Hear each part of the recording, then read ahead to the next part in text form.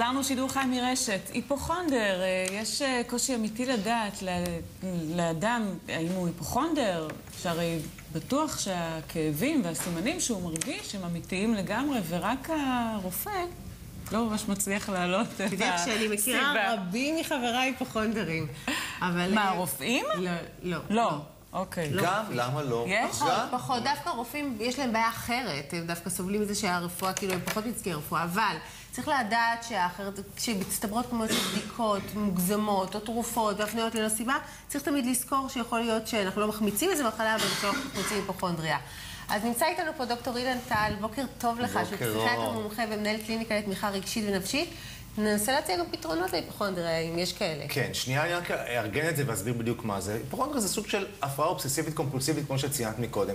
יש מחשבות חוזרות בלי הפסקה שיש לי משהו לא בסדר ואני חולה. עכשיו, ומה אני אעשה כדי להרגיע את זה? בדיקות, בדיקות, בדיקות ובדיקות. או שאני אמנע בכלל בדיקות כי זה מפחיד אותי ואני לא רוצה לגעת וזה לא רוצה ללכת לרופא ושלא יספר לי שיש לי את הסרטן. עכשיו, אנשים יודעים, בהתחלה זה נכון שהם לא מבינים שכאילו יש להם, שזה היפוכונדריה, אבל אחרי שבועיים שהדקדוק באוזן כבר לא משמעותי, הם מתחילים להבין שמשהו מוגזם, הרבה פעמים בני המשפחה כבר אומרים כאילו, רורד לי מהווריד, תפסיק עם הבדיקות, בני המשפחה יודעים שיש היפוכונדריה או אין היפוכונדריה. מאיזה גיל זה מתחיל? זהו, זה מתחיל בגיל מוקדם. יש גם אה, פחדים ממחלות אצל ילדים. בשלבים מסוימים זה נחשב תקין, ותלוי איך זה מתארגן ב- לאורך השנים, אם זה מחמיר או משתפר, או איך זה נראה.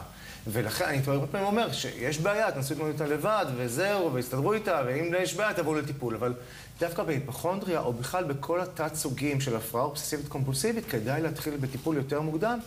כדי ללמד גם ילדים נורא צעירים, אפשר לעשות להם טיפול קוגניטיבי התנהגותי, ללמד אותם, יש לך מחשבה שובבה, קופצת לך לראש, זה לא נעים, ממש בתוך כדי משחק.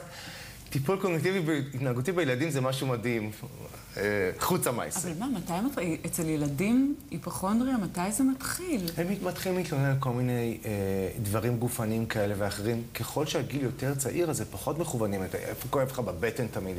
הרבה פעמים זו תגובה למשהו רגשי, משמעותי נכון. שקורה מסביב. נניח גירושים, זה נורא שכיח, שפתאום מתלוננים על כל מיני מחלות, לא רוצים ללכת לגן וכולי.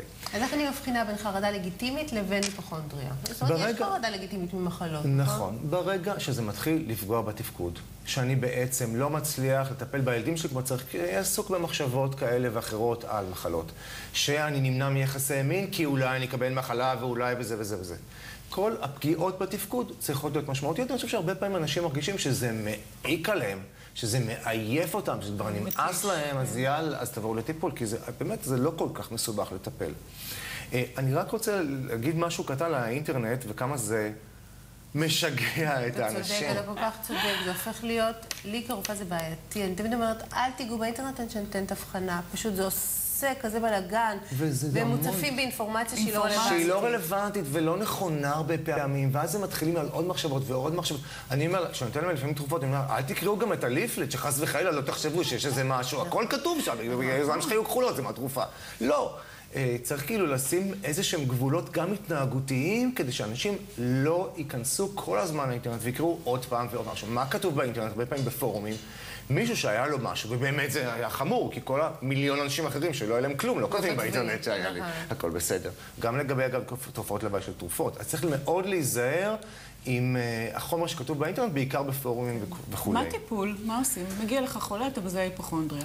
הטיפול הפשוט ביותר הוא טיפול קוגניטיבי התנהגותי. קודם כל, האפשרויות, תרופות, ויש תרופות מצוינות. אני צריכה להגיד רק שהיפוכונדריה, לעומת כאילו אובססיב קומפלסיב אחרים, זה כאילו מגניב כזה, כולם צוחקים, זה כאילו הופך להיות כזה בדיחה של החבר'ה. יורם גאון. אבל הבן אדם עצמו, כן, בדיוק, הבן אדם עצמו זה נוראי. וזו אחת מהבעיות שהם לא מגיעים לטיפול, כי כאילו זה בסדר, כאילו כן. מה, כולה מה יש לך פחד ממחלות, יאללה, תעביר את זה, מגיעים אחרי שבע שנים, שזה כבר מקובע. כן. אה, בכלל עם OCD זה גם בעיה כזאת. אה, יש טיפולים תרופתיים טובים, אני חייב לומר, שהם טיפולים נגד דיכאון וחרדה, לסוגיהם, שעובדים יפה, ויש אנשים מאוד אוהבים אותם. הטיפול הקוגניטיבי-התנהגותי לסוגיו, מה מלמדים את הבן אדם? מלמדים אותו שים לב למה שהוא חושב. לא כל מחשבה שעולה בראש, חייבים לחשוב אותה. בכלל, מחשבה זה לא מציאות. מחשבה זה מחשבה, היא לא בהכרח קורית. יש עוד טיפולים אחרים בחרדות שנכנסו יותר בשנים האחרונות, ביו-פידבק. מתחברים למחשב, לומדים להוריד את המתח, אתה כבר לומד מתי המתח עולה וכולי ואיך להוריד אותו. מיינדפולנס שזה משהו יותר, שזה סוג של מדיטציה, שאתה לומד בעצם להסתכל על הפחדים שלך מבחוץ ולא לחיות אותם. זה, יש פחד, בא לי עכשיו פחד, הוא יעבור, בא לי משהו אחר. אמרתי, רעב, זה גם יעבור. הלוואי. את זה מתי אני יעבור לי רוצה, הרעב, כן. למען השם? דוקטור אילן טל, תודה רבה, נעמת. לנו כהרגלך. בכיף. אה, אנחנו נהיה פה מחר בשעה אחת.